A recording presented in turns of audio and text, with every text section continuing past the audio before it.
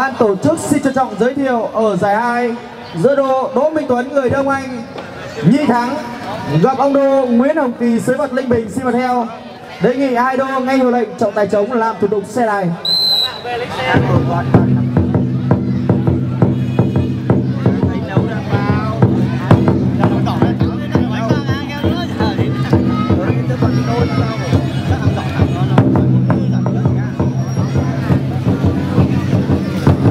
trong xuyên suốt buổi chiều ngày hôm ngày hôm qua cũng như buổi sáng ngày hôm nay đã có rất nhiều các sân sới tham gia tranh tài các nội dung và hiện tại các sân sới đã phải làm khán giả để chứng kiến cổ vũ cho các sân sới khác đó là sân Bắc Giang, sân Vĩnh Phúc.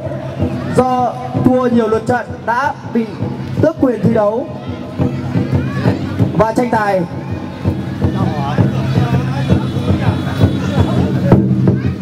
Và hiện tại, hai sân sới đó là sân sới Bắc Giang và sân sở thể dục thể thao tỉnh Vĩnh Phúc. Hiện tại đã phải đang làm khán giả.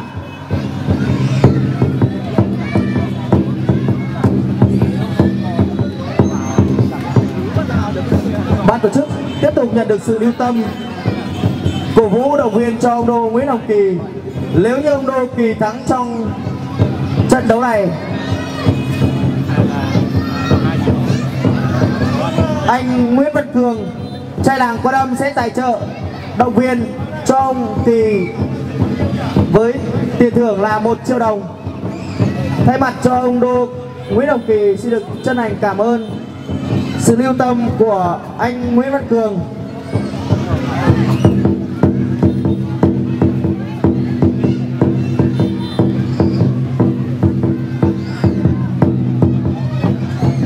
Được, xin phép được đề nghị bộ phận ánh sáng chuẩn bị cho chúng tôi những chiếc đèn cao áp để phục vụ toàn thể nhân dân cũng như quý khách thập phương. Mời idol tạm nghỉ phút. Mời idol của Xin được báo lại Hiện nay vẫn còn một số các cháu nào khi về của các các nhà trường idol bắt tay nhau. Và của lễ hội trận đấu tiếp tục. Và ban tổ chức lễ hội xin thông báo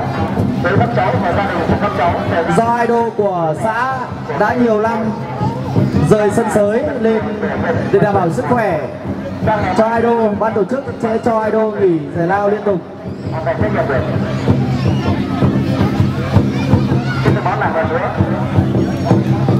Thông báo của ban tổ chức hội hiện nay vẫn còn một số các cháu nào khi về của lễ hội năm nay vẫn chưa ra để nhận phần quà này và thay thay ban tổ chức lễ hội xin thông báo tới các cháu ở giải nhất ông đô Hà Văn Hiếu người Linh Bình. Nhất thắng chưa có đô là vào theo. Vậy mời các đô đã có lệ thường về bàn ban tổ chức để phá giải nhất của ông đô Hà Văn Hiếu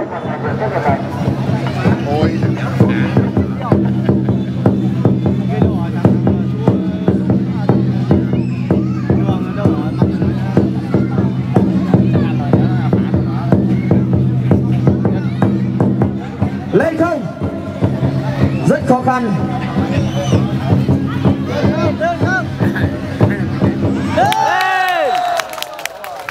Dạ vâng. Và như vậy, thắng thua đã rõ. Mời đô vào giữa thảm, chúng tôi công bố kết quả. Dường như đô Nguyễn Hồng Kỳ vừa rồi thi đấu ở giải nhất đã thấm mệt.